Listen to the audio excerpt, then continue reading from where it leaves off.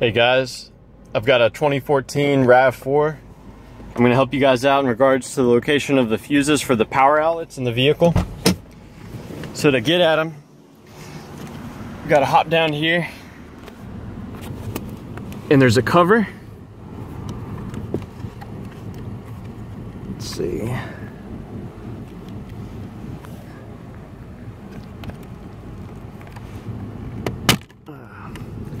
Pop the cover off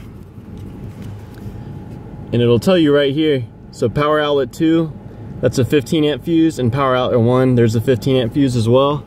So here's the 15 amp that's for power outlet 2 and uh, that one right there that my thumb is pointing at that's going to be for power outlet number 1 when you're done messing around this goes back on like so